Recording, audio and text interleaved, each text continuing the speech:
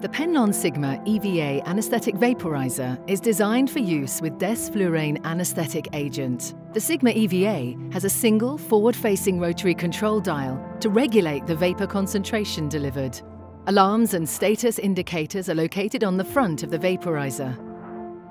The Sigma EVA is available with the Piramal Fill or Baxter Safe Fill filling system. The Sigma EVA Vaporizer, available with Selectatec or Dräger Auto Exclusion interlock back bars. The Sigma EVA is a mains-powered electronic vaporizer with battery backup.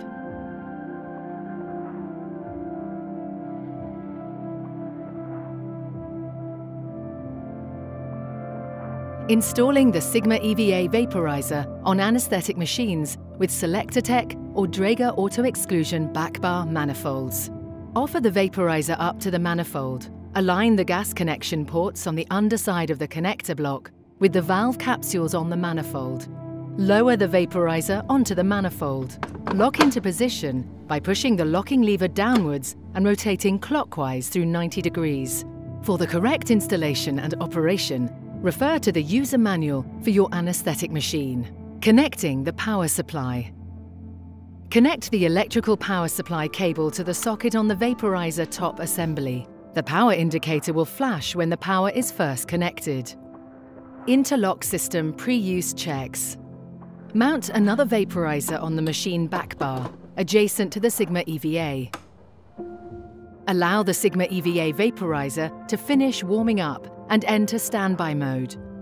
This is indicated by the power indicator being continuously illuminated. Push in the concentration control dial and rotate anti-clockwise. Check that the interlock bolt moves outwards so that only one vaporizer at a time can be turned on. Check that the interlock deactivates when the control dial is returned to the locked out zero position. Purge the new vaporizer before use.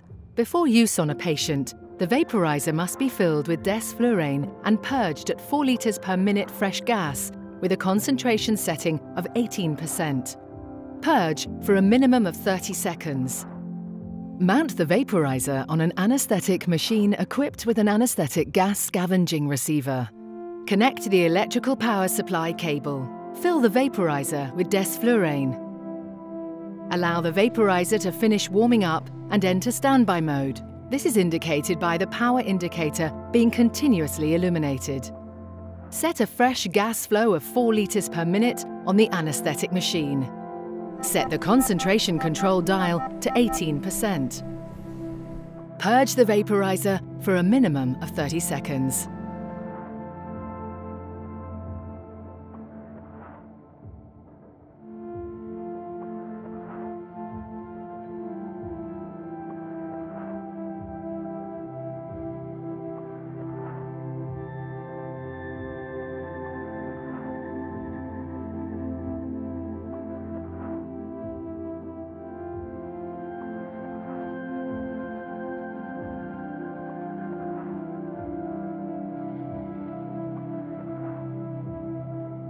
Anesthetic machine and Sigma EVA vaporizer leak tests.